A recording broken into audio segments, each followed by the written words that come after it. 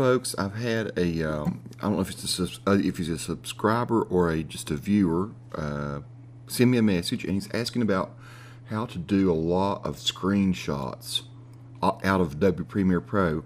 He sent it to me kind of as a private message, so I'm not going to say his name. I'm just going to read you his message. He wants to know how to take a screenshot automatically in Adobe Premiere Pro. He says I need to make a lot of screenshots in Adobe Premiere Pro CS5 but I do not have a lot of free time. Is there a way that it can do it automatically, frame by frame, screenshots? Well, what he's asking about is like a JPEG sequence or a TIFF sequence, or you can do it as a, P, a ping, a PNG. It just depends on how you want to export it or what the needs of whoever you're sending it to would be. So, what I've got here, I'm going to do an example. I'm going to do another sequence right quick. I've, this is a garden time lapse that I've done It shows my garden over time. Uh, and it's it was uh, it right now it's in a 1080p sequence. I'm pretty sure I have that that way, but I'm gonna do a new sequence. And since I shot this in 2.7K, uh, it doesn't really matter what I pull up here. I can pull up anything 1080p. I'll show you a little trick. We're just gonna call this JPEG sequence. And I'm gonna say OK. So right now it's a 1080p sequence, but we're gonna let Premiere Pro change this you know what? Since he's using CS5, though, I'm not sure if it automatically does this like it does with Premiere Pro CC. So there, there may be a little trick here. Let's let's let's. Uh, I've got this one. Let's do another one called New Sequence. Let's call this uh, JPEG Sequence 2. Okay. So first I'm going to show you how it would work with CC, and we'll do this JPEG sequence right here. It pops up. I'm going to go ahead and close these other two sequences because it just confuses the matter. So I'm going to go to almost any day here, I think, that uh, where I shot video here, 612. So here's going to be me standing. What, what I do, I go to my garden and I stand for about, you know, 30 seconds there, and then I create a time sequence, and over, over time, it makes kind of a cool garden time-lapse video anyway. I'm going to let this one change the sequence instead of keeping existing settings. This is on the, I've got the, man, let me cancel this for a second. Or I'm not sure which one I have open here. Anyway, this is the one we'll let do, let CC do its thing because in Adobe Premiere Pro CC, you can tell it, go ahead and change the sequence settings. And now, uh, this is JPEG sequence 2. So if I go to JPEG sequence 2 over here and look, it has been converted to a 2.7K. See, it's instead of it being 1920 by 1080, it's 2704 by 1536. And this is important to me because I want it to be a really, I want it to be big if I'm going to be exporting photos. I want to have the best quality photos. So what I'm going to do, I'm going to I'm going to pull this over where I go and stand in the in the garden. So there you go. Let's let's let a little bit of motion happen with this one. Here I'll be walking toward it or whatever. So I'm walking to my spot where I typically go to stand. I'm going to make this a very purposefully a very small piece of video here because these pictures are very big. I don't want to eat my hard drive space up. So here I've got, uh, I don't know, six, looks like six uh, seconds and 18 frames of video. Now I could, yeah, I could pull this on over a little bit more and just cut that off a little bit. So now I'm gonna have I'm gonna have a bunch of uh, of uh, photos of myself if I want to export them. Now, first of all, for those of you who just want to know how to export one single frame, say I want just this one frame, you click this little uh, photo button over here, right, or Control Shift E. You see that, and you click that, and then you can pick what kind of of image you want it to be. Now, I typically go with bitmap or something, or TIFF or something from this instead of JPEG. Why? And, and I don't know if it's changed or not, but it used to be that it wouldn't let you pick what kind of JPEG, what level. You know, did you want it to be maximum quality or medium quality? It seemed like it, in the old versions, it would just be a uh, level 7 or 8, you know, just a medium quality JPEG. Maybe it doesn't do that anymore. Let's just check it and see.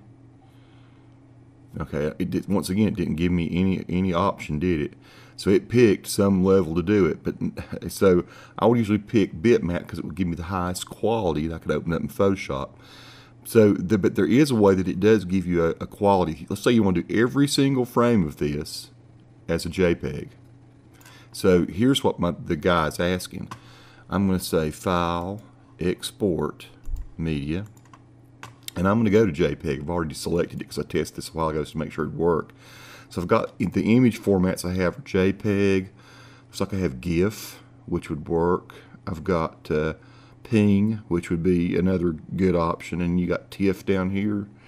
See, guys, do you see any more? You guys see BMP. So there are all there are these are all image formats that could be used. I'm going to go ahead and leave it in JPEG this time because that actually is going to work for me. Frame rate 24 frames per second. Uh, yeah, that that works. I think I actually shot this in 2997. It says export as a sequence. Uh, I could go ahead and I guess I could. I think I did shoot it 2997. I'm gonna go ahead and do that actually. Okay. And I've, I've already clicked use maximum render quality. It probably won't come up that way. But see here, if you pick JPEG from this option, you've got a quality setting. Look at that. So you could decide if you want it to be like you know the 80, uh, about a you know uh, about a medium quality JPEG is going to be 70 to 80 somewhere like that. I like to go full quality, 100%, right? Okay, so I want this to go. I'm going to navigate over to this folder. Here's my 2.7K time lapse. Now I've, made a thing called JPEG sequence. I'm going to save it into that folder. Okay, and it's going to be called JPEG sequence 2. And I'm going to say export. And so now what it's doing is it's writing bunches and bunches of JPEGs, high quality JPEGs going into that folder. So if I hit cancel at any time, which is perfectly legitimate to do, it's writing those are not going to go away and we'll shorten this video because of it. I'm going to say cancel.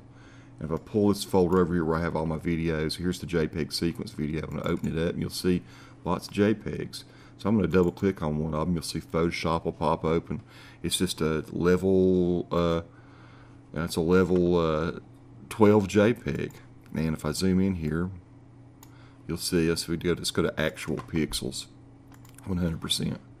So those are actual pixels, 2.7K. Boy, don't I look fat, chunky. anyway, but you get a really good view of my garden. So now you've got an image that you can go in and you can do all the things that you would typically do in Photoshop. Like this one, I'm sure I'd probably go to filter and sharpen. And I'd probably do an unsharp mask and then you can see right quick that you get something that's pretty pretty decent looking I'll do a control zero and get it back and there you got a nice sharp image of my garden as I walk out to uh, stand in my spot. So that's how you do it with CC now CS5 a little different might be. I'm going to delete all these. I think it'll let me. Boom it did okay. So we'll save back to the same folder. Let's go back to Premiere Pro. And so now, uh, probably the way he's going to end up doing this in uh, the, only difference is going to be this we'll cancel is rather than letting it do the JPEG sequence itself, here we still have a 1080p JPEG uh, JPEG sequence. I'm going to close the, I'm going to close this in CS5. I think what I need to do is I actually need to set up the sequence manually so if I know I've shot in 2.7K, which is 2704 by 1536, the viewer's probably going to have to say file, new sequence. He's going to have to pick that sort of sequence. You're probably going to find that down here with red. You can go down here and find like the, uh, I think the 2K settings here are 24. You might want to go to 3K. You might end up being having a little bit of uh, space around the outside. So here, this is a little bigger than 2 point, than 2.7K photo. But I'm to go ahead and pick that. It doesn't matter which, I, well, you know, it depends on how many frames you want to get out of this. But I'm to go ahead and, since I shot that in, uh, I think I shot it in, you got shot in 2997.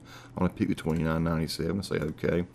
So what I've got, I've got a sequence that's a little bigger than my than my video. Let me go ahead and pick this one, 623. And I'll pick the portion that I want to show in the video. And wait, let's go to right here. Here we go. Here I'm going to stand and probably wave. Usually I do. Yep, there we go. Now I'm going to pull that down in here.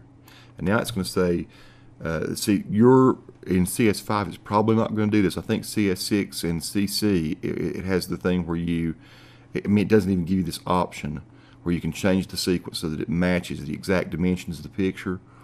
I'm going to say keep existing settings now just so you'll see what, will, what will happen if you pick that RD3 setting it'll just come in there like that and you'll have some black around it. You can just crop those in Photoshop or whatever if you need to. But from this point on, it's the very same uh, uh, way that it does it. You'll say File, Export. You have to make sure, first of, first of all, that this is highlighted. See the yellow around this? This is what uh, tells it that it's active. say File, Export, Media again, and then pick whatever you want. I'm this time I'm going to pick Bitmap. Bitmap is actually a little higher quality than JPEG. So we'll say OK, and we're going to, uh, I don't want to go there, I want to go here, to go to this, I'm going to go JPEG sequence, say open, okay, and we're going to say save, and then I'm going to say export, and once again we're exporting a bunch of big bitmap images. Time, I'm going to say cancel, uh, I didn't let it finish because it's just writing a lot of sequence, and there you go. Once again, you've got uh, all these photos. I'm going to double click on it. It's going to come up. Uh, that time it didn't pull Photoshop up, up because it, it, it's not associated. Bitmap, I guess, is associated with Windows Photo Viewer here. But if I right click on that and say open with Adobe Photoshop CC, then it's going to open right up. And once again, same same quality image that you'd get with the other. Let's do a 100%. And there you go. And once again, you can say filter, like I did a while ago, then sharp mask, and we bring it all to life like that. So folks, that's how you would do a, a, a batch export of all photos. It's just called image sequence. Very easy to do out of Premiere Pro. It took way longer for me to explain than it probably took to do it, it'll ever take to do it. So there you go. Uh, any other questions you got, folks, let me know. Hope this has helped someone out there, uh, just apart from the, the fellow that uh, sent me the message. And thank you so much for doing that, my friend. Uh, hopefully I've been of assistance and just trying to do this these kinds of things to answer anyone's question, make uh, video and photo and image making, graphic design easier for those who, who are out there trying to do it. Peace.